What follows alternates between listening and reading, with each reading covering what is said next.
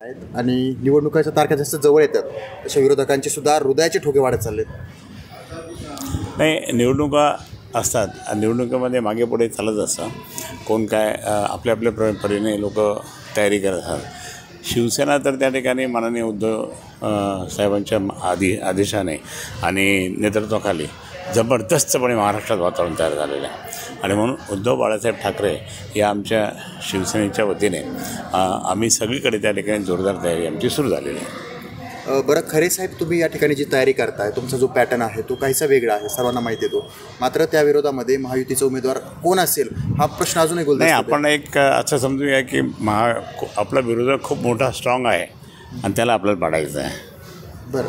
असं असं करूनच त्या ठिकाणी आपल्याला त्याला पाडायचं आणि आपण जिंकायचं. ही आमची भूमिका असते. मात्र उमेदवार न देण्यामध्ये असं वाटतं बऱ्याच दिवसांपासून की त्यांचा गोंधळ आणि संभ्रम हा काय संपूर्ण आपल्या इथंच नाही संपूर्ण महाराष्ट्रात त्यांचा गोंधळ चालू आहे. बरं. आणि अशा गोंधळात त्यांना कळलं आहे आता आमची कन्या ती भावना गवळी ती तर आता रडत बसली असेल. मी म्हणलो तर कुठे जाऊ नको जाऊ नको जाऊ नको ईडी लागली. पण ईडी लागली तर काढली का त्यांनी? नाही काढली. मग कशाला आपण बंडखोरी करायची? कमीत कमी एकनिष्ठतेचं हे तर राहिलं असतं ना. खरे साहेब वंचितने आपला उमेदवार दिला तुमच्यासाठी आनंदाची बाब. नाही नाही माझ्यासाठी आनंदाची बाब नाही. आपण कोणत्याही उमेदवारांना कमी लेखायचं नाही. आपण आपण आपली तयारी जोरदारपणे करायची बाकी काय नाही. मागच्या हिंदू मताचं डिवायडेशन झालं म्हणून ते निवडून आले. आता मुस्लिम मताचं डिवायडा डिवायडेशन होत म्हणून आपले चान्सेस जास्त आहेत. नाही ते त्याचं असं म्हणता येत नाही. आपण कोण कधी काय हे होईल. परंतु मात्र ह्या शहरामध्ये या जिल्ह्यामध्ये उद्धव बाळासाहेब ठाकरेंच्या एकनिष्ठतेचे जे उमेदवार आहेत त्यांनाच मतदान करायचं असं नागरिकांनी ठरवलेलं आहे. कारण आता इथे येणारे जे लोक असतील ते फक्त गद्दारीवाले असतील त्यांनी गद्दारी केली. आमच्या या संभाजीनगर जिल्ह्यामध्ये ज्यांनी गद्दारी केली त्या गद्दारांना त्या ठिकाणी कोणी स्थान देत नाही. तसं हे तसं या वंचितच्या उमेदवारीबद्दल काही रणनीती नाही तुमची? नाही रणनीती आता ते मला उद्धवजी ठरवतील ना. ते ठरवते आम्ही आम्ही कोण नाही.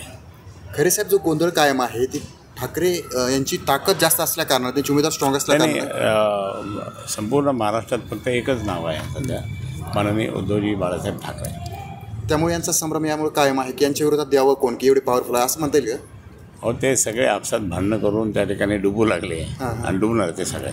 आणि मग लोकांना कळलं ह्या लोकांना की आपण उगत चूक केली.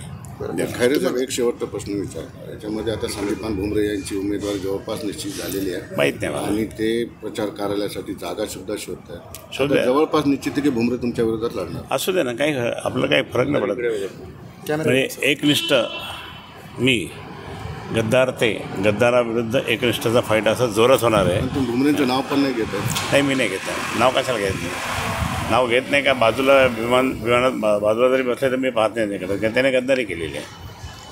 शिंदे गटाला काही ठिकाणी उमेदवार बदलावं लागते लागले याकडे आपण कसे बघतो? नाही ते त्यांचं अजूनही खूप काय होणार आहे. चला. उद्याचं चित्र काय असेल? उद्या काय दिसेल तुम्हाला? काय होऊ शकतं उद्या? उद्या म्हणजे येणाऱ्या दिवसामध्ये. उद्याचं चित्र फक्त उद्धव बाळासाहेब ठाकरे आणि महाविकास आघाडी. एबीपी माझा. उघडा डोळे बघा नीट.